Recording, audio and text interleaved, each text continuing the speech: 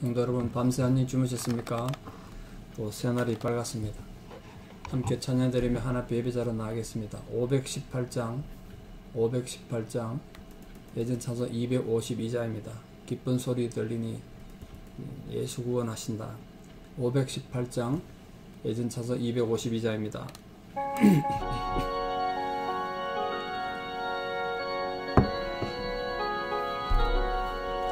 기쁜 소리 들리니 예수 구원하신다.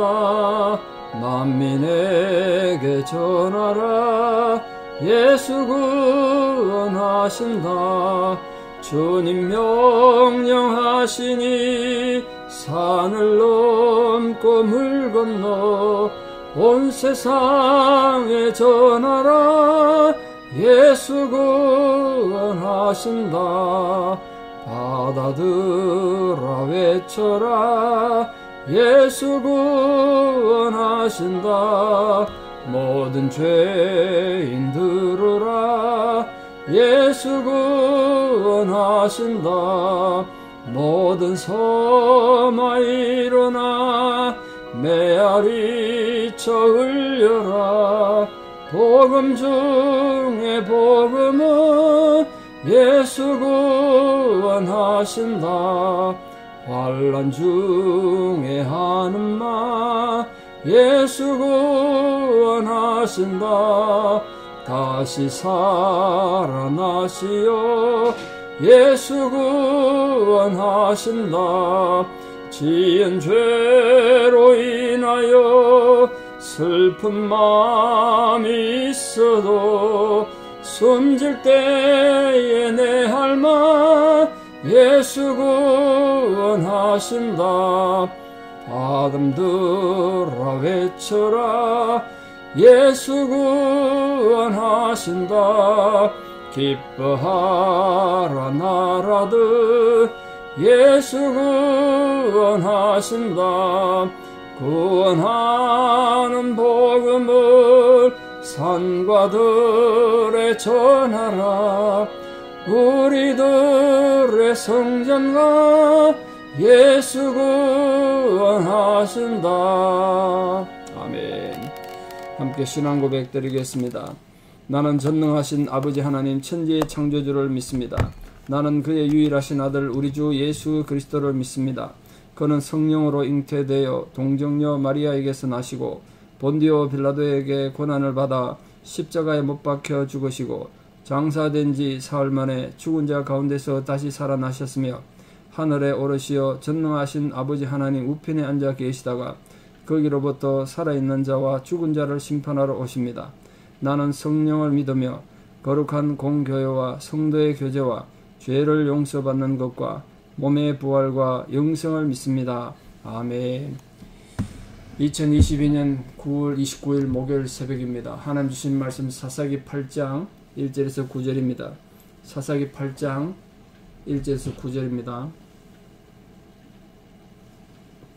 봉독해 드리겠습니다. 사사기 8장 1절에서 9절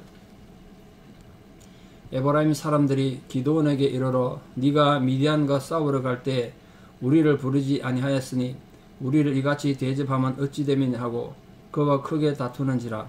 기도원이 그들에게 이르되 내가 이제 행한 일이 너희가 한 것에 비교되겠느냐? 에브라임의 끝물 포도가 아베셀의 만물 포도보다 낫지 아니하냐? 하나님이 미디안의 방백 오렙과 세입을 너희 손에 넘겨 주셨으니 내가 한 일이 어찌 능히 너희가 한 것에 비교되겠느냐 하니라. 기도원이 이 말을 하매 그때 그들의 노염이 풀리니라 기도원과 그와 함께 앉아 300명이 요단강에 이르러 건너고 비록 피곤하나 추격하며 그가 숙부 사람들에게 이르되 나를 따르는 백성이 피곤하니 청하건대 그들에게 떡덩이를 주라. 나는 미디안의 왕들인 세바와 살문나의 뒤를 추격하고 있노라 하니 숲곳의 방백들이 이르되 세바와 살문나의 손이 지금 네 손에 있다는 거냐? 어찌 우리가 네 군대에게 떡을 주겠느냐 하는지라. 기도원이 이르러 그러면 여호와께서 세바와 살문나를 내 손에 넘겨주신 후에 내가 들가시와 찔레로 너희 살을 찢으리라 하고 거기서 버네엘 올라가서 그들에게도 그같이 구한즉 버네엘 사람들의 대답도 숫구 사람들의 대답과 같은지라 기도원이 또 버네엘 사람들에게 말하여 이르되 내가 평안히 돌아올 때에 이 망대를 흘리라 하니라. 아멘. 예, 이 사사기 8장에서는 음, 이 기도원이 했던 300 기도 300명 용서가 미디안 대군을 물리친 것보다 어떤 부분에서는 더 중요한 전쟁을 몇 가지 다루고 있습니다. 우리가 우리 삶에서 매일 마주치는 전쟁인데요. 그게 지금 에브라임 지파가 말도 안 되는 걸 가지고 시비를 걸어올 때 그때 어떻게 대꾸할 것인가. 근데 이 기도는 참 온유하게 대답을 잘해서 이스라엘 잘못하면 크, 이스라엘끼리 싸우는 내분이 내전이 일어날 뻔했는데 그걸 막아냈습니다. 그게 더 큰 전쟁인데 사실. 결국은 13만 5천 명의 위대한 대군을 300명에 불과한 소수의 정병으로 그들을 격파했던 어, 기도원은 이 미디안 전쟁보다 더 중요한 전쟁, 그 네분, 특히 기도는 자기, 자기 자신과의 싸움에서 승리한 위대한 사람이었습니다. 어, 그 내용을 좀 이따 보겠고요. 기도원의 승리는 정말 이 전쟁 역사에 길이 빛나는 위대한 승리 아니겠습니까?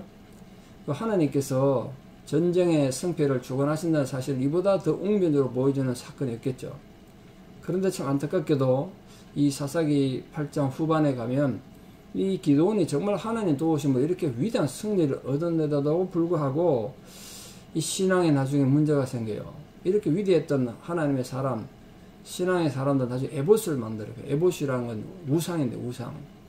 그걸 만들어서 온 이스라엘 또 우상 숭배하고 타락하게 만드는 원인을 제공했습니다. 참 고민되는 거죠 이게. 그래서 결국은 어, 미디안과의 대전쟁에는 승리했습니다만 기도원이 자기 자신 안에 있는 그 내적인 자아의 싸움에서 결국은 이렇게 실패한 게 아닌가. 그래서 우리 로마서에서 바울이 고백하는 것처럼 안타깝게 고백한 것처럼 의인은 없나니 하나도 없다. 그 말이 그냥 딱 맞는 거예요. 그러니까 우리 인생이 잘 풀릴 때, 남들보다 성공할 때, 그때 성공할 때일수록 시험에 떨어질까 참 더 조심해야 된다 말이죠. 자, 이 전쟁의 위대한 승리를 가지고 지금 패잔명들을 아직 다 쫓지는 못하고 왕들도 사로잡지 못하고 그래서 전쟁이 덜 끝났습니다. 어떤 부분에서 보면. 근데 에브라임 지파들이 기도원의 시비를 왔을 때 큰 다툼이 된 겁니다. 이유가 뭐라고 되어 있습니까? 이 기도원은 모나세 지파입니다. 이 기도원에 속한 모나세 지파 너희들끼리만 전쟁하러 가고 그 에브라임 지파와 함께 므낫세 지파는 사실 요셉 후손이란 말이에요. 그러니까 원래 형제간은 그렇지 않습니까? 서로 이렇게 우월감을 다 가지고 경쟁을 많이 하죠. 어릴 때부터 형제가 나이 차가 안 날수록 유별 유별로 싸우고 뭐 많이 그러지 않습니까? 이 므낫세와 에브라임 지파도 아주 경쟁 관계에 있었어요. 한 아버지 밑에 요셉 밑에 태어난 어, 지파인데도 그렇게 서로 경쟁 관계를 어, 가졌습니다. 특히 모나세는 장자라는 권리를 내세웠고 에브라임은 야곱으로부터 더 큰 축복을 받았거든요. 그 결국 나중에 거기서 왕이 태어나지 않습니까? 사로왕이 태어나는데 아 그거를 지금 이 갈등 때문에 서로 갈등이 된 거예요. 근데 에브람 지파에서 보니까 자존심 상한 거예요. 모나스 지파에 속한 기도원이 사사가 돼가지고 엄청나게 큰 업적을 이룬 거예요. 에브라임이 자기들이 이제 이 사회에서 지도권에서 이제 모나스 지파에 뒤진다고 생각하니까 시기한 거예요. 시기한 거. 사실 기도원이 전쟁하러 간다 그럴 때 모른 척 하고 있다가 굉장히 비겁한 거죠. 에브라임이. 그때는 전혀 가담도 안 하다가 시기해가지고 미디안 전투 초기에 에브라임을 청하지 않았다. 그래서 그게 자기들 분노하는 이유다는 거예요. 말이 안 되는 소리죠. 몰라서 하는 게 아닌데 사실은. 그때는 설마 이 전쟁 이기겠냐? 그리고 몰래 숨어 있다가 전쟁을 이기고 나니까 아 이거 우리 밥그릇이 없어지겠는데? 그래서 시기하고 질투해가지고 그걸 꼬투리 잡아가지고 지금 기도원을 제거하려고 달려든 겁니다. 이걸 살다 보면 이런 일이 정말 많이 겪죠. 우리가 가장 가까이 지낸 사람들이 우리를 참 힘들게 하고 서로 또더 어, 높아지려고 경쟁의식에서 분쟁을 많이 일으킵니다. 남이 나보다 조금만 인정받으면 뭐 견딜 수 없는 거예요. 미워서. 뭐 그런 일들이 많이 일어나지 않습니까? 교회 안에서도 참 흔하게 일어나는 일 아닙니까? 아, 남이 나보다 더 열심히 해서 또 더 인정받고 하면 좀 뒤에서 박수 보내고 어, 서로 축하해주고 그러면 얼마나 좋겠습니까? 근데 이 살다 보면 인간이 이렇게 교만하고 또 시기심이 많다 보니까 가인이 아벨을 왜 죽였습니까? 이 가인의 후예다 보니까 우리가 아, 같은 형제간인데 하나님이 아벨의 제사를 받으면 같이 기뻐해주고 그러면 될 텐데 자기 제사는 거부당했다고 동생을 죽인 거 아닙니까? 그래서 우리 인생은 어떤 부분은 가인의 후예란 말이다. 그러다 보니까 이 분쟁하는 게 참 끊이지 않습니다. 우리의 형제나 친구 사이, 성도들 사이에 이런 일이 일어나면 안 되겠죠. 상대가 잘될 때 시기할 것이 아니라 진정으로 격려해주고 축하해주므로 함께 발전해야지, 함께. 이게 중요한 건 이 에브라임이 시비를 이렇게 말도 안 되는 시비를 걸을 때 기도원이 어떻게 처리했는가. 이게 정말 우리가 본받아야 될 부분이죠. 저는 개인적으로 기도원이 300명 용사들이고 위대한 전쟁한 미디안 13만 5천 명 군대를 어, 처벌한 것보다 그 대승을 거둔 것보다 이 부분이 더 위대하다고 생각돼요. 제가 아는 인간성이라는 거, 인간의 본능은 불가능한 거예요. 불가능한 제가 보기에. 기도원 입장에서 들어보니까 인간들 생각하면 얼마나 기분 나쁘겠습니까? 기도원은 자기가 지금 목숨 걸고 가서 전쟁에서 겨우 이겨놨더니 에브라임 와서 그 전쟁의 승리의 영광을 자기가 가로채겠다는 거 아닙니까 지금? 그런데 기도원이 거기서 자기 절제를 하는 거예요. 자기 자신과의 싸움에서 이긴 거예요. 그러니까. 자기 내면의 분노, 어, 미움, 이거 극복한 거예요. 아주 겸손한 말로 대답해요. 그 분쟁을 지혜롭게 해결하는 거예요. 기도원은 자기들이 이룬 업적이 이 에브라임이 이룬 업적보다 못하다. 당신들이 훌륭, 훌륭, 덜 훨씬 훌륭하다. 이렇게 말했어요. 그래서 에브라임의 끝물 포도가 기돈 가문인 아베셀 만물보다 낫다. 이렇게 비유를 말했습니다. 기도는 결코 과격한 말로 싸우지 않고 아니 당신들 말에 우리가 힘들어 그럴 때 전혀 도와주지 않고 모른 척하고 잘 되나 보자 뒷짐지고 있더니 이제 와서 당신들 권리를 주장하는 거냐? 뭐 이렇게 충분히 말할 수 있지 기도원 입장에서. 그럼 이제 싸움밖에 안 되는 거예요. 손바닥도 마주쳐 올린다고 싸움, 싸움이 되는 거죠. 한쪽이 피하면 그 싸움이 안 되는 거죠 그 에브라임 사람들을 격동시키지 않고 이 과격한 말로 기도원이 온유한 대답하니까 음, 얼마나 민망하겠습니까? 막 싸우자고 달려들었는데 오히려 그렇게 당신들이 우리보다 훌륭하다 잃어버리니까 뭐 화낼 수가 없지 않습니까? 어, 웃는 얼굴 어떻게 침을 뱉습니까? 그러니까 노엽게 한 형제와 화목하고 평화를 누리는 건요. 정말 성을 취하고 빼앗는 전쟁의 승량보다 어렵기 때문에 자문에서는 승내기를 더대한 자가 용사보다 낫고 온유한 자가 전, 치열한 전투를 통해서 승량보다 낫다고 그렇게 말하는 거예요. 그러므로 이 기도원의 온유와 겸손은 우리 모든 성도님들이 본받아야 되고 갖추어야 될 지혜고 신앙의 원리가 아닌가 그렇게 생각합니다. 마땅히 주의 종은 다투지 아니하고 모든 사람을 대하여 온유하며 가르치기를 잘하며 참으며 거역하는 자를 온유함으로 징계하라.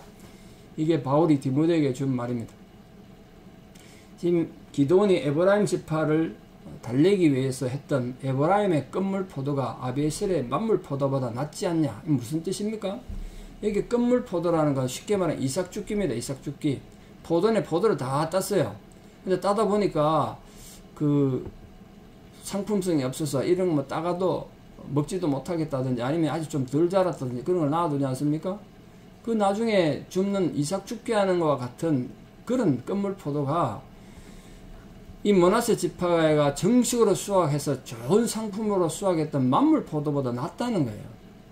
사실 참 이거 말도 안 되는 소리죠. 그래서 영어 성경에서는 이걸 어떻게 해석해 놨냐면요. 에브라임의 포도 이삭 죽기가 아베셀의 포도 수확보다 낫지 않냐 이렇게 번역해 놨어요. 그런 개념이에요. 그러므로 이 미디안과 전투에서 처음부터 끝까지 머나스가 머나스 지파가 세운 이 공로보다 다시 말해서 기도원의 300명 용사가 이룩, 이룩한 이 공로보다도 뒤늦게 와가지고 참전했던 에브라임 지파 공로가 훨씬 낫다. 훨씬 크다. 그렇게 말한 거예요. 그러니까 에브라임 지파도 양심이 있지 그거 어떻게 화를 내겠습니까? 그게 화평이 오고 평화가 온 거예요. 그런데 또 하나 전쟁이 있습니다. 이 숲꽃 사람들과 보낼 사람들이 보여진 이 얄팍함. 근데 인간이 이래요. 기도원 군대가 오늘 본문에 보니까 비록 피곤하나 사절입니다. 비록 피곤하나 그러니까 피곤했다면 하루 종일 싸웠으니까 추격하며 그래 피곤했지만 추격해서 그 밥도 못 먹었죠. 배도 고프죠. 목도 마르죠. 힘들어서 그 숲꽃 사람들에게 어, 기도원이 또 보낼 사람 똑같이 얘기했다는데 같은 내용이 반복되는데 우리 군대에게 좀 먹을 걸 달라. 좀 쉴 수 있게 해달라. 그러니까 비웃는 거예요. 아니 너희가 세바 세바와 살문나해가 지금 네 손에 있다는 거냐? 어찌 우리가 네 군대에게 떡을 주겠느냐? 이거 도움을 주지 않고 기동 군대에게 도움을 주자고 비판하고 욕한 겁니다. 비웃은 겁니다. 그들은 자기들 객관적으로 판단을 해보니까 겨우 기껏해 300명밖에 안 된 이 군대 가지고 어떻게 두 나라 왕을 사로잡는다는 거냐 웃긴다는 거죠. 말도 안 되는 소리 하지 마라. 그 이들은 이 수급과 보낼 사람들은 힘 있는 자 곁에 가담해서 그 힘 있는 사람들의 보호를 받고 어, 그들로부터 또 뭐 검은 보호를 받아서 누리려는 그런 기회주의자들이 기회주의자들. 그러니까 기돈이 화가 나서 숙고 사람들에게는 내가 이 두 왕을 처치하고 돌아올 때 너희들에게 어, 가시 들가시 나물로 가혹하게 형벌할 것이다. 또 보낼 사람들에게서는 내가 너희들 어, 문짝을 망대로 흘리라.